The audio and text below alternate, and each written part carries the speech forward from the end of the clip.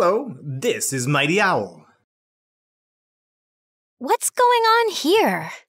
We're outside on the school playground, but I don't see anyone playing.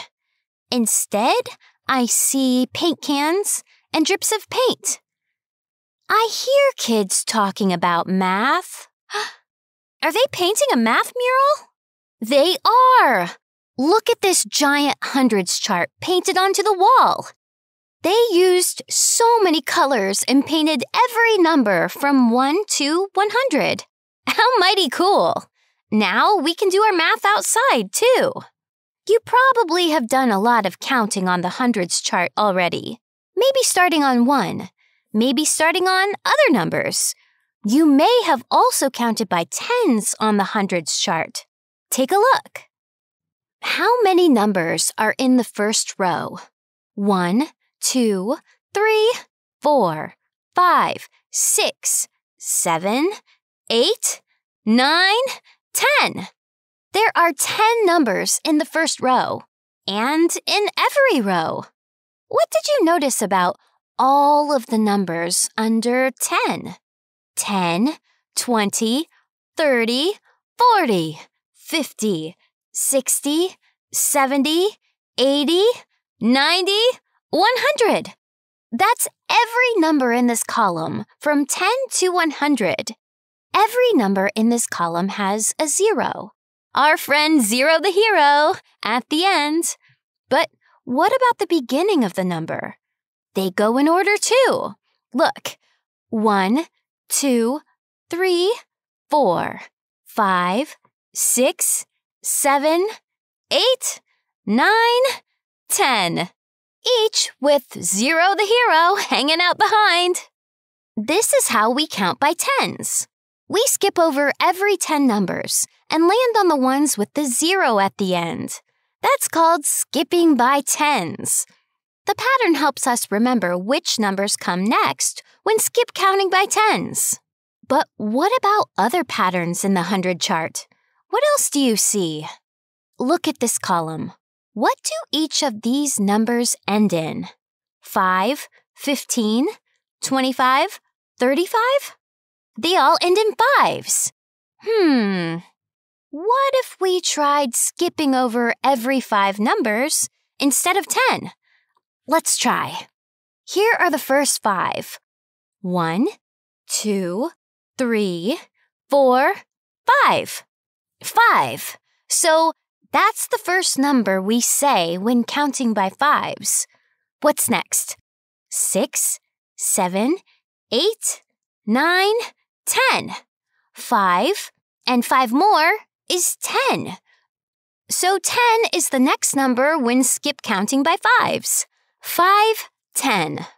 What is 5 more than 10? 11, 12, 13, 14, 15. 15. 5, 10, 15. And another 5 more is 16, 17, 18, 19, 20. 20. So the first four numbers, when skip counting by 5, are 5, 10, 15, 20. I think I see a pattern here also. Look at the last numbers again 5, 0, 5, 0. Only numbers from the 5 column and the tens column are being counted. Can you guess what 5 more from 20 is? 25! That's right! It's the next number that ends in 5. 5, 10, 15, 20, 25, and then 5 more is 30. Let's keep going. After 30 is 35, 40, 45, 50. wow! You've counted all the way to 50 by fives. If we keep going, these are all the numbers we would count. And we were right. When we count by fives, we only count the numbers ending in five or zero. Let's try it out. Sue's been collecting some acorns that she found around the playground. She put them in piles. Each pile has five acorns. Instead of counting every single acorn, we can skip count by five. Let's find out how many acorns Sue collected. Five, ten, fifteen, twenty, twenty-five, thirty, thirty-five. That's the last pile. So Sue collected 35 acorns. Great job! Eric also collected some acorns, but he's put all of his in two lines on the ground. Those are a lot of acorns. I wonder if there is a faster way to count them all. You know, acorns are pretty small. I bet we could pick up two of them at a time. Let's try skip counting by two and pick them up each time. Here, we can put them on the hundred chart as we count. When we skip count by twos, we skip one number and count the next number. It's kind of like jumping over one number each time. We count two at a time. So, to start, we skip number one and say two.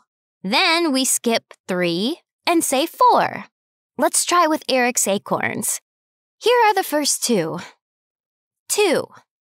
The next step, skip three and say four.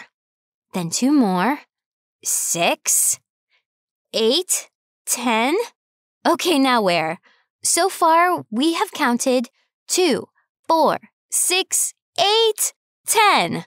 On to the next row. Twelve, fourteen, sixteen, eighteen. There are 18 acorns here. Sometimes it's helpful to count by twos like this, but we need to keep track of our counting, so we can mark off our hundreds chart like this to help count. Wow, you are doing a mighty good job of counting. You've been counting by ones, starting at different numbers, and even counting by tens. Today we tried skip counting by fives and twos. It was really helpful to have the hundreds chart to remind us what numbers came next. And we saw some cool patterns in the hundreds chart. Let's keep counting, for practice makes perfect.